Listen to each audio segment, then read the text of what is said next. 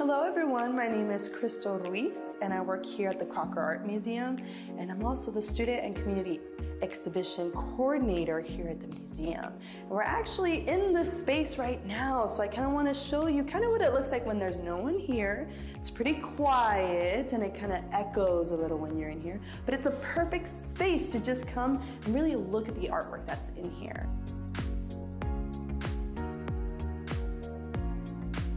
So right now we have currently the Youth Art Month exhibition up.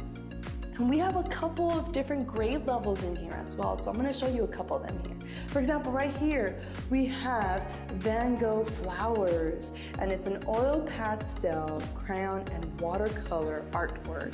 And this is actually made by a first grader named Nash Cartwright and this was made in 2019.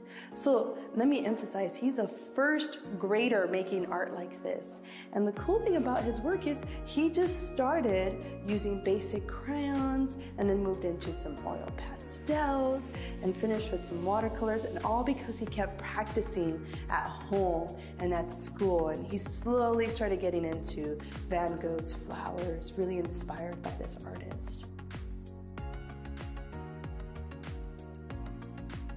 Now we have a ninth grader over here from McClatchy High School. So Holden Fong is uh, creating a more of a sculpture. So here we have Fluttering Thoughts, that's the name of the artwork. And as you can see, this artist is using wire, paper, as well as a little bit of paint to add some detail in here. So for the student community exhibitions, what you do is you kind of just start making art, especially right now when you're at home. You can pick up a pencil, pick up some crayons. If you have watercolors, add in some of those mediums to your artwork and just practice. The more you practice, the better you'll get at it.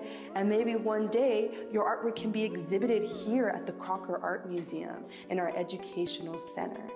And it keeps going. We go all the way around into this space. As you can see, many more artworks. We have some third grade art, some more 12th grade. We have some drawings as well. It's very fascinating, so much detail. Even when you zoom in closer, you might notice even smaller things in these artworks, especially these drawings here. You can see our artists very dedicated to getting every detail they can into their work. And then on this side, it's more of like mixed media artwork, some photography, but we really love to capture maybe the themes the students are focusing on in their school, like self portraits or more of abstract art, right? So just being able to explore with color and a variety of materials. You could start very simple and then move on to a different medium each year, right? Maybe get into some more sculptural stuff. Maybe one day you'll get into clay and decide to make some of these interesting artworks we're seeing right now. From some of our high schoolers, 10th grade, 11th, all the way to 12th grade, here are some ceramic artworks we're looking at right now. And just notice all the different colors and details added to these works of art.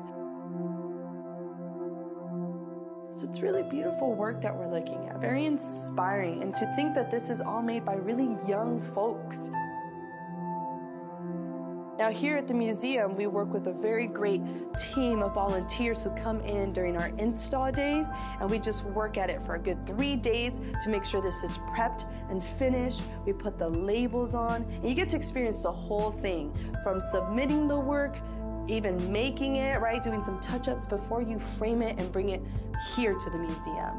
And then we kind of help you, guide you, and show you maybe this is the best way to kind of write your statements, talk about the artwork, even to the title of the work for this specific maybe painting or sculpture. And I hope to see some of you talented artists come visit our museum and be showcased here. So thank you so much on behalf of the Crocker Art Museum. Stay safe, and I hope to see you soon.